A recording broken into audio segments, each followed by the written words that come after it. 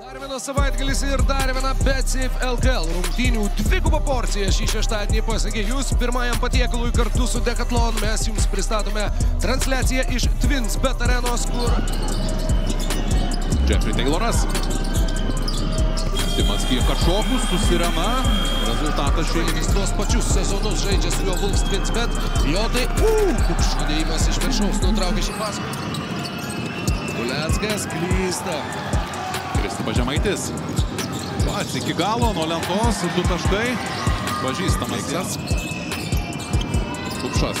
Iš tolimo vidutinio nuotolio, kamolys skrodžia tinklelį. Kalbėjau, kad čempionas sykį ir su Kauno Žalgirio klubu. Čižauskas prieš Kariniauską ir Kariniauskas čia įveikė. Kamolį. Taip, bet Bruksas ima kamolį, Andriusas e, irgi meta netiksliai, bet renka tuos kamolius polime. Wolves Twins bet vieną po kito jau penki atkovoti kamoliai polime šį vakarą. Tai atrodo labai uh, savimi pasitikintis šį vakarą Kariniauskas. Jerry Blakesas atsako dviem taškais po prasiveržimo.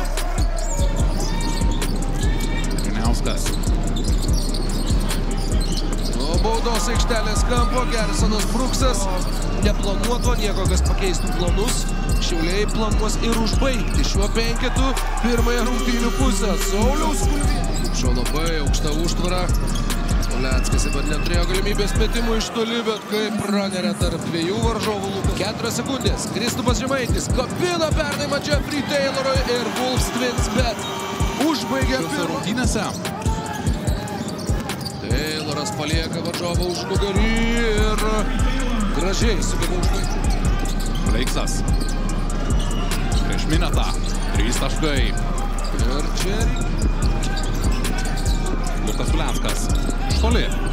Trys taškai. Kritusys. Ir 16 Luko Lecko taškų. Kaunas suranda Žemaitį, Žemaitis atsako tuo pačiu.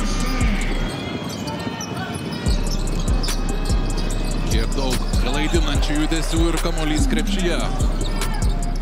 Nepavydėtinoje situacijoje. Įspausti į kampą, jie ieško Mindaugo Kupšo, Kupšas atlieka Kariniauskui, Kariniauskas gražina perdamą atgal, Kaunas Andriusui, trys taškai.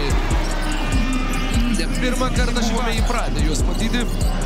Kaunas kol kas ant suolo, Andriusas po Kariniausko rezultatyvaus pernai buvome įpratę juos matyti.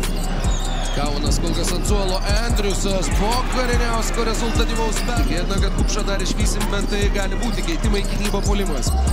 Tayloras įsirėžė į varžovą ir ten o, paplušėti Wolves Twins bet dėl pergalės. Kaunas dar švysteli tritaškį su Sirena. 103-93 mes dėkojom jums visiems uždėmesį.